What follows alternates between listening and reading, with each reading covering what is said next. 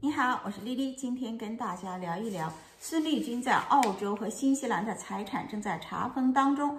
爆出来的消息说，孙立军在新西兰呢有一个藏宝库，而他在澳大利亚的老婆李丽呢控制着几栋公寓楼。看一下这个消息是来自于哪儿呢？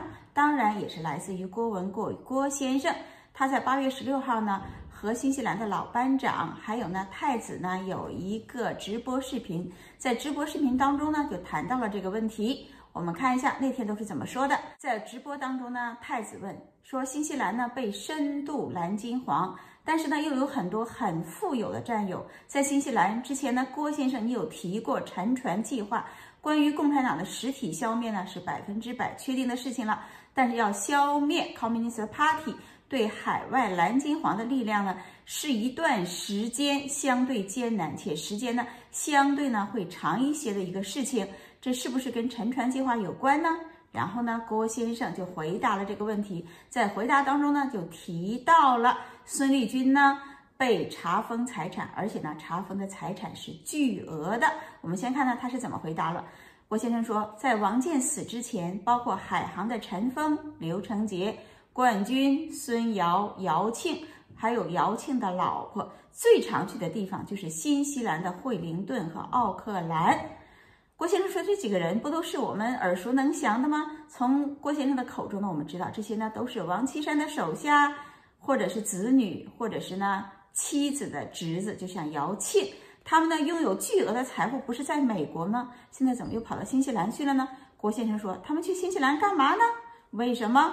因为混灵顿、奥克兰呢，他们有能力控制他们的古董、字画、金砖啊，还有超级的国家级的国宝。”不知道这个国家级的国宝是什么样子哈，都放在混灵顿和奥克兰了。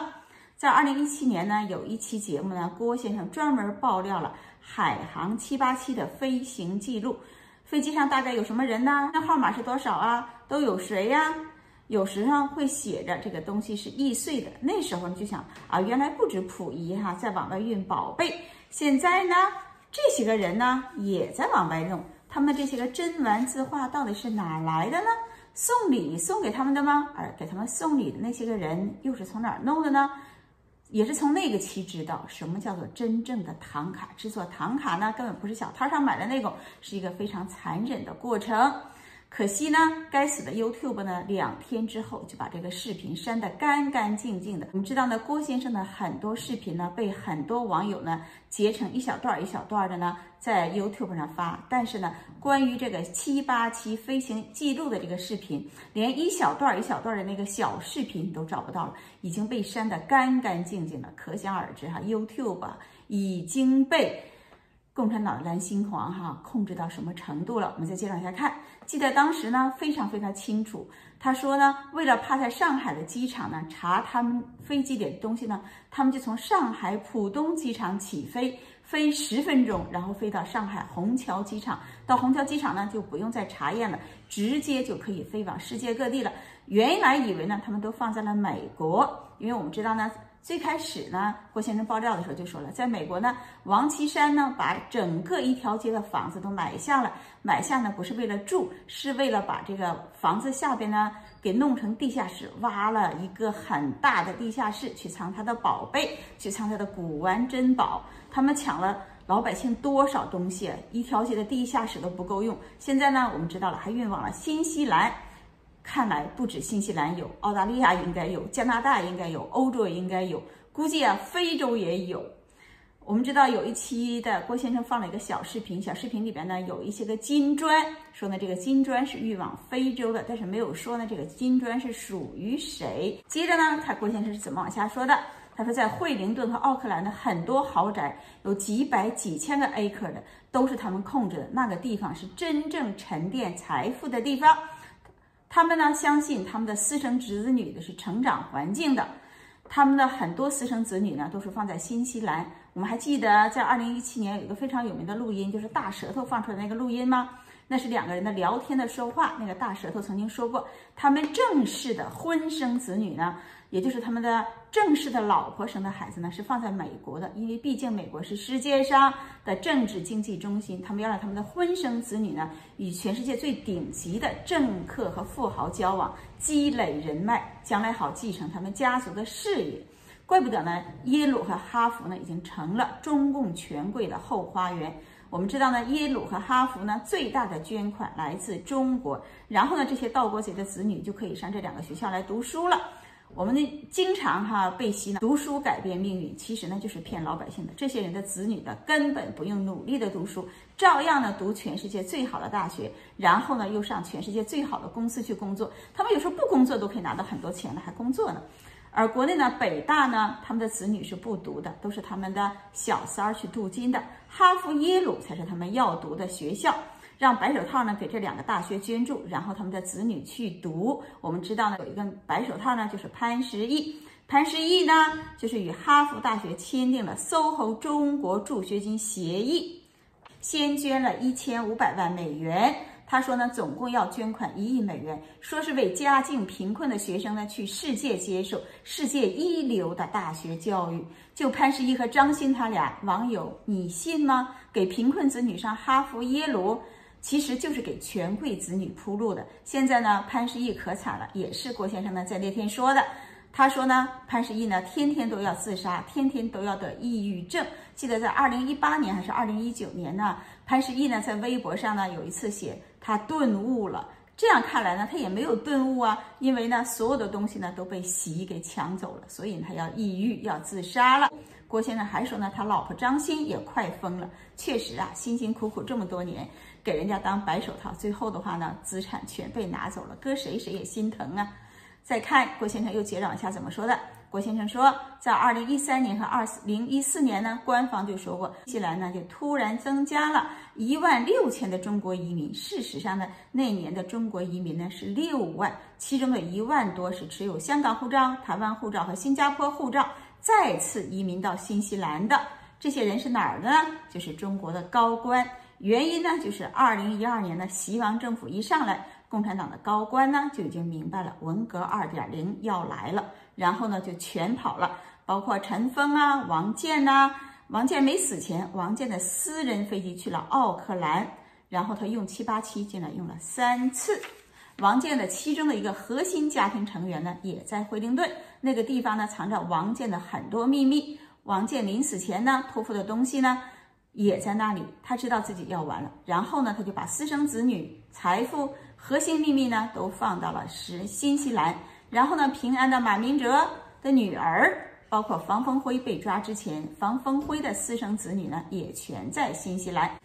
再看一下西方政府呢，当听说中国政府呢要这些政府来配合的时候呢，就是查封资产来配合的时候呢，是非常配合的。这个时候呢，就说到孙立军了。看一下，然后呢，这些西方国家的政府呢，就帮助去打开查封这些个他们的财产，一看钱，全都傻眼了。这些国家的西方人哈，他们就感觉你要说贪污一亿美元，那金额都已经挺大了。但是在中国，一亿美元已经不够级别了。到新西兰、到澳大利亚、到德国，这些个贪官呢，一弄就是十几亿，一弄呢就是六七亿的现金。我就很奇怪，每人只有五万的额度，这六七亿的现金是怎么弄出去的呢？私人飞机运出去的吗？那中国的海关都好说了哈，都是他们家开的，不查他们。但是进入的国家难道也不查吗？看来这些国家的海关也已经被深度蓝金黄了。好，现在呢就讲到孙立军了。郭先生说，孙立军呢管在新西兰就有十几套的房子，澳大利亚几十套的房子，好奇怪哦。这些贪官的房子，将来这些澳大利亚和新西兰这些国家怎么处理呢？是银行拍卖吗？如果很便宜的话，我一定去。拍一套去，而孙立军的老婆在澳洲呢，控制着几个公寓楼，是整栋大楼，而不是几个房间呢，控制着整个的好几个的公寓大楼。我们知道呢，在澳大利亚呢，二零一八年吧，爆出来的就是在奥林匹克那边呢，有一个危楼，那个危楼呢，轰动了整个澳大利亚圈儿。不知道呢，那个危楼是不是孙立军的老婆李丽来持有的？如果是的话，这些危楼里的。这些居民呢就可以幸福了，他们可以去找孙立军去要他们的这些损失了。说孙立军呢，在银行的现金，还有在新西兰呢，有一个藏宝库，现在呢，全部都被查出来了。习近平厉害，习总加速师接着加油。新西兰的政府呢，傻了，这都什么情况啊？阿里巴巴四十大盗的宝库。郭先生接着说，中国前一千个。富豪呢？谁在新西兰没有房子？有多少的私生子女在新西兰和澳大利亚？郭先生以前说过，在澳大利亚呢有八百多个私生子女了。所以说呢，什么叫沉船计划？其实船早就沉了，人家早就上岸了。新西兰呢是一个藏宝之地。共产党呢是可以毁香港的，但是呢他不会毁新西兰。他说自己的隐私都在新西兰呢。这些盗国贼呢深度蓝金黄。新西兰和澳大利亚政府甚至控制新西兰政府呢，就是为了保护他们的私生子女和转移出去的财富。还有啊，孙立军呢，我们知道呢，他就是属于盗国贼集团的打手。他呢是整个盗墓贼集团呢执行的最主要的人员，他手中呢是有很多录像、硬盘和办案的卷宗的，这些呢是藏在了新西兰。为什么新西兰是他的一个窝点呢？因为新西兰有他的一个情人，叫做赵月林，原来呢是北京公安局机关的一个民警，这个呢也是在二零一七年的郭先生爆料说出来的。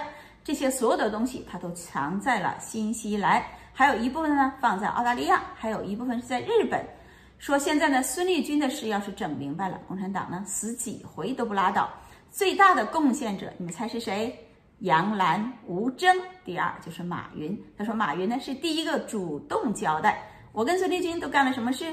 马云是帮助孙立军洗钱的最关键的人物。哇，马云要完蛋了。阿里巴巴有三宝，第一个是阿里支付，阿里支付是洗钱的哦。第二个是蚂蚁金服，可以让大家变相的腐败任何人。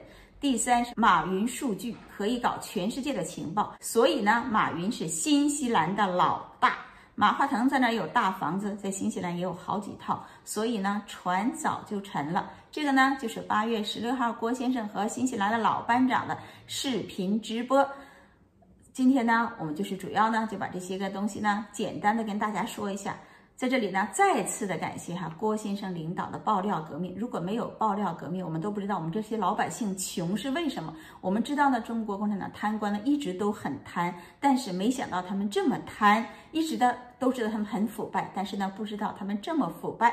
第二呢是感谢习总加速师与其他派系的这种剧烈的政治斗争。现在呢，习总加速师呢就已经把这些个所有的。以前上位的那些个民营企业家，名义上的民营企业家也好，那些贪官也好，那些打手也好，他们的财富呢，都集中在习总加速师的手里边了。将来呢，我想呢，我们爆料革命或者是美国呢，一定会想办法把这些财富呢还给中国的老百姓的。好，今天节目就到这了，拜拜。